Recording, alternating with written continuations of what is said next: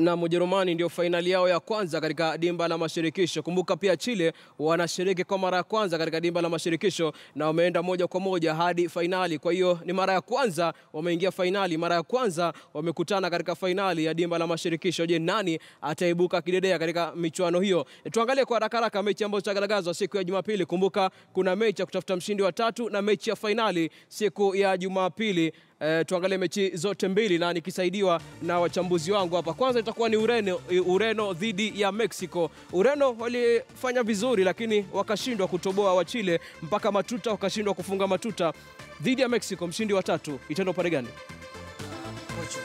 kwa sababu Portugal na wachezaji ambao wana uzoefu, wachezaji ambao ni wahiba kubwa.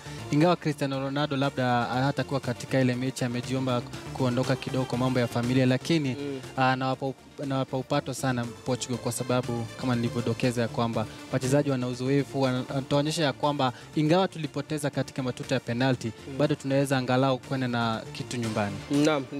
Ronaldo atakosa mechi hiyo manake amepokea uh, uzazi wa watoto wawili na kuongeza idadi kuwa kubwa. Idadi ya Real Madrid inaongezeka tu kikosi na inamfurahisha Curtis. Curtis, timu gani unaona itachukua ushindi Portugal uh, dhidi ya Mexico? Okay, mi ni, ni fan wa Portugal, lakini hiyo Saturday kesho naona Mexico itashinda simply because hakuna Cristiano hapo Portugal. Hakuna Cristiano. Mm, Kwa hiyo unasema Cristiano- Ureno ni Cristiano. Cristiano ni Portugal na Portugal ni Cristiano Ronaldo. Kina Quaresma hakuna kitu atafanya. Hakuna. namna baada ya hapo basi itakuwa mida ya jioni, ni mechi ya fainali, mechi babu kubwa kati ya Ujerumani dhidi ya Chile.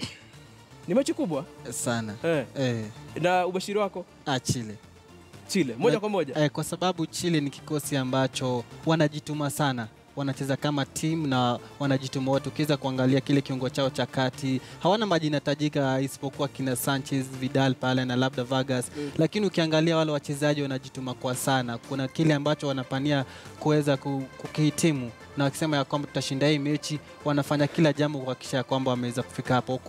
Kushinda Ureno sio jambo rahisi na wameweza kuwapiku. Angalia waliweza kushinda uh, timu kama Argentina na kuweza kufika mahala hapa. Kwa hivyo nawapigia upato sana, ingawa Ujerumani kile kikosi watajaribu kuonyesha ya kwamba tuna uwezo, ingawa wale wachezaji wa, wa, wa kikosi cha kwanza hawapo, wataonyesha ya kwamba wana uwezo, lakini Chile mm. watashinda. katika mechi ya jana kati Mexico hasa katika kipindi cha kwanza walionyesha wa, wa, wali, waliweza kuonyesha mpira wa hali ya juu dhidi ya Ujerumani, lakini Ujerumani ni kwamba walipata nafasi wakatumia.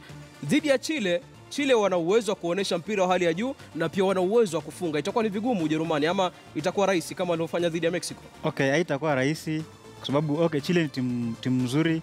Wanasema iko golden generation tangu kuanzia 2010 mpaka Mm. saa hizi wame maintain team the same team, wame- wametoa wachezaji wazuri.